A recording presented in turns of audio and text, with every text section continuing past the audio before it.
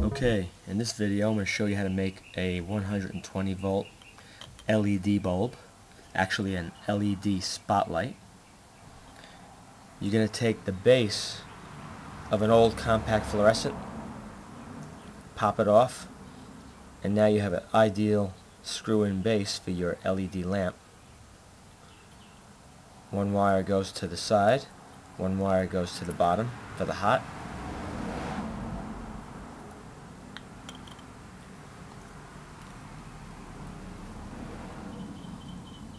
You're going to need a 100 or a 200 milliamp fuse.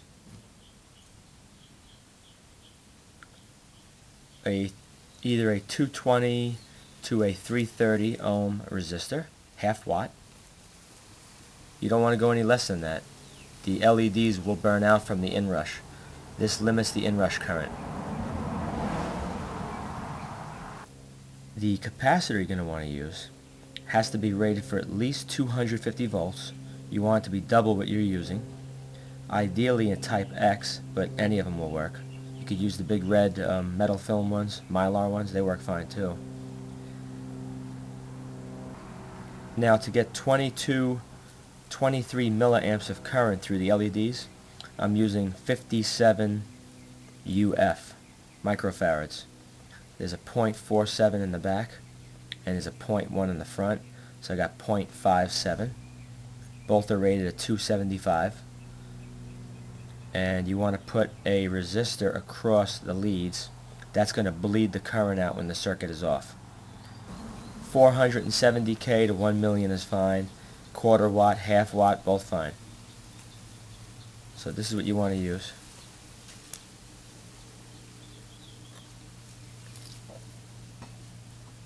Alright.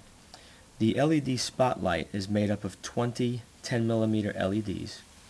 And what you're going to do, you're going to connect two of them back to back, which means the anode of one LED is going to connect to the cathode of another LED. And then the anode of this LED is going to connect to this cathode and this LED. So you can do back to back. And once you back to back them like that, you're going to connect that group into another one. That's going to be back to back. Go all the way through, come around, come all the way back up, and then you'll have this end and that end to feed the current through. Now it doesn't matter how many LEDs you use. You can make put 20, 30, 40 of them because the same 20 milliamps is going to flow through every single one of them. This LED light, spotlight, only draws about 3 watts of power and it puts out a fair amount of light. Okay, this is what it looks like when you connect it. The one coming from the hot middle into the fuse.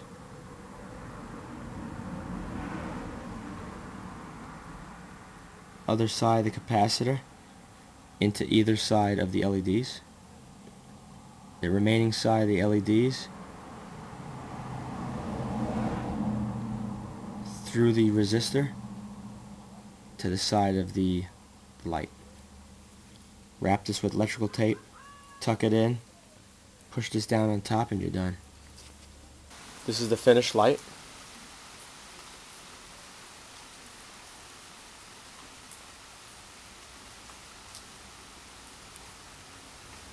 Two point seven watts. You can make it higher. You can overdrive the LEDs if you want but they'll fade out and burn out much faster.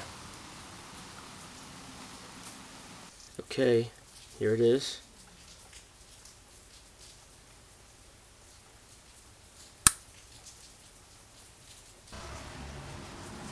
Very bright. That's weird. Looks like two two rows are on. Now you got all of them on.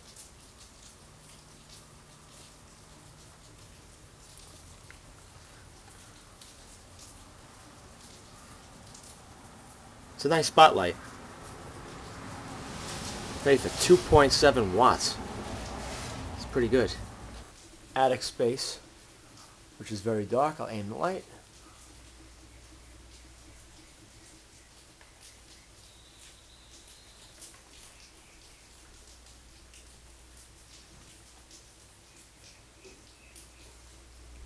Pretty bright.